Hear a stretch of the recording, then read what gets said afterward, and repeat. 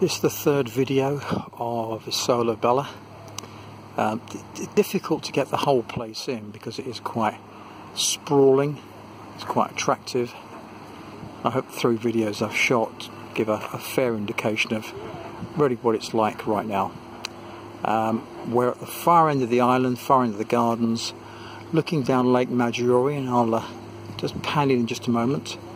Down Lake Maggiore towards Arona, to the north it's Locarno, which is up in Switzerland.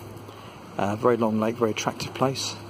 So here we go. This is just uh, the end of the the gardens. As I said, there's loads to see here, but it's so difficult to get it all in. Um, if I just pan back and go forward, uh, we now look down the lake towards, in the distance, Arona, which is where we're staying. Uh, long way down. Then look across the lake, just pan along very quickly. There we go.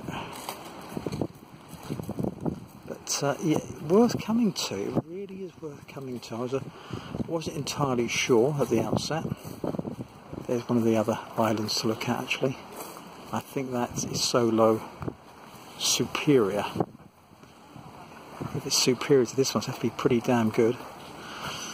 But yeah, that's it. Um, hope further three videos are giving you a perspective of what this place is like, but worth a trip, most definitely.